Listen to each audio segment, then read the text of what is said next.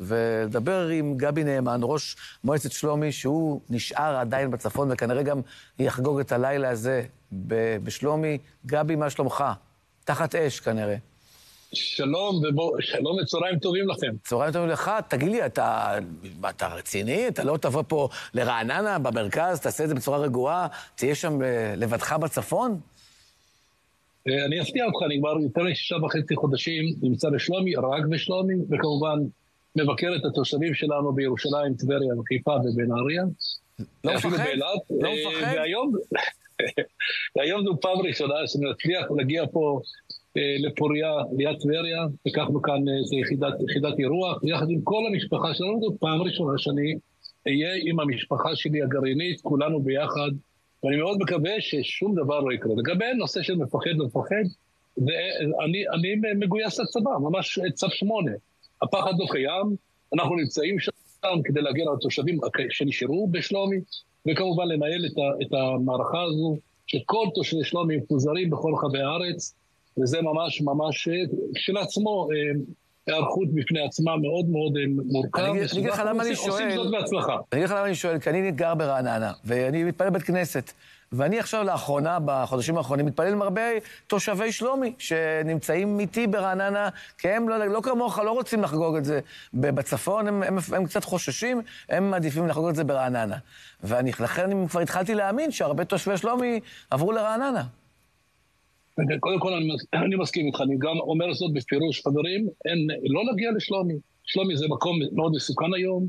רק אתמול שתי בולקנים נפלו ממש על ההר, מטרים ספורים מבתים, נזקים עצומים לעשרות בתים, כמו תריסים שעפים וקרמיקות ותקרות אקוסטיות שמתמוטטות.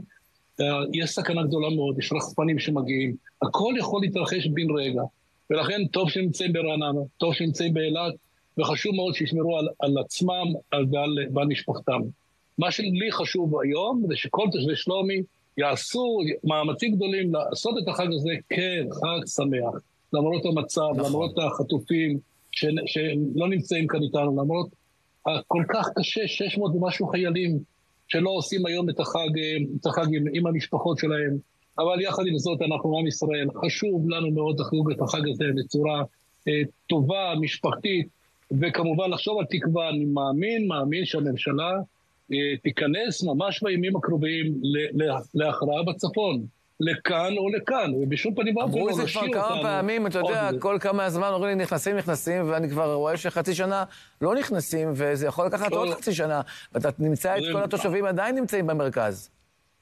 אני אומר, אני חושב שהפעם אנחנו נמצאים באמת בנקודת הכרעה. עד, עד היום לא שמענו את המילה הזו, נקודת הכרעה, שמענו את זה אתמול מהשר אה, גנץ, שמענו את זה גם משר הביטחון, וההכרעה חייבת להיות בחודש הזה, חודש רביעי, לא חמישי. לא, בוא תגיד לי, גבי, עברנו, אנחנו נדבר איתך עוד חודש ואני אהיה פה בשולפן, תגיד לי עכשיו יום עצמאות ואני חוגג את זה בפוריה, והחבר'ה ברעננה, ואחרי זה בל"ג בעומר תספר לי שאתה עדיין בפוריה.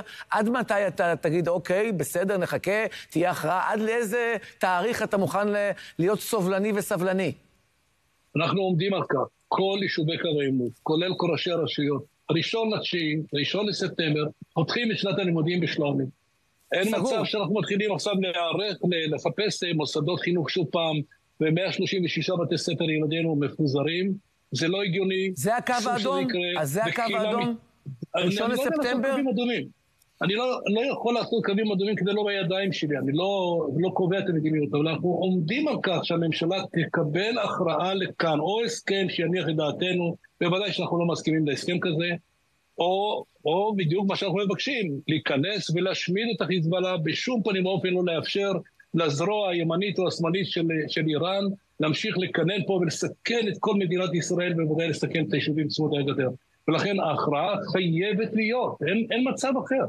חייבת להיות, ואני מאמין שהיא תהיה. והיא תהיה בקרוב, כי אתה מתכנן, לפחות מבחינתך, שבראשון לספטמבר כל התושבים חוזרים חזרה לבתיהם.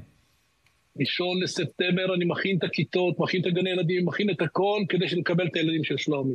אני לא, לא מוכן לחשוב לרגע אפילו אה, להיות, להיות עוד, עוד חצי שנה או אפילו יותר מחוץ לשלומי, לחפש את מה שנקרא, איפה התחנכו ילדינו, אז אנחנו מבוגרים נדע להסתדר, אבל הילדים, חברים, ילדים 136 בתי ספר לומדים 2,200 ילדי שלומי.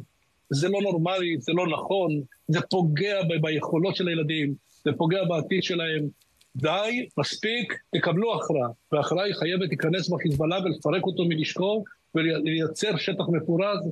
צה"ל ראשון, יישובים, ולאחר מכן גם צה"ל נמצא בתוך היישובים. זה הביטחון שאני מצפה שיהיה בהמשך. אני מתפלל איתך שכל מה שאמרת עכשיו יקרה, ואכן הכל יגיע לקיצו, והכל יחזור לשלום ובשלום עד הראשון לספטמבר, ובאמת כבר בחג הבא, וכבר בשבועות. אנחנו נדבר שאתה כבר נמצא רגוע ושלב כבר בשלומי ביתך, ואין לך מה לחשוש, הלוואי, אמן. ועכשיו בינתיים, בחג הזה, בלילה הזה, אם כבר אתה בפוריה, אז תהנה, תחגוג, ותהיה לכם שם ליל סדר שמח, ובאמת תצאו, נצא כולנו, לא רק אתם, כולנו מעבדות לחירות, ואנחנו רק להיזכר. אתה מעיר את כולנו בחיוך שלך, וזה טוב. ברשותך, אני אשמח לנצל את ההזדמנות הזאת שלך, לברך את כל תושבי שלומי, כל עם ישראל. וחג שמח, אושר ובריאות לכולם, ושאנחנו נצפה ממש בקרוב לשחרור החטופים. אמן. ונראה, ונראה את שובם, וכולנו נשמח ונחזק את העם שלנו, וכולנו נהיה מאוחדים. זו האמירה שצריכה להיות פה. עם ישראל מאוחד, כולנו בלב אחד, למעננו ולמען בנינו. אמן. תודה רבה, חג שמח. תודה רבה לך, חג שמח, ואנחנו מקווים לבשורות טובות בקרוב מאוד.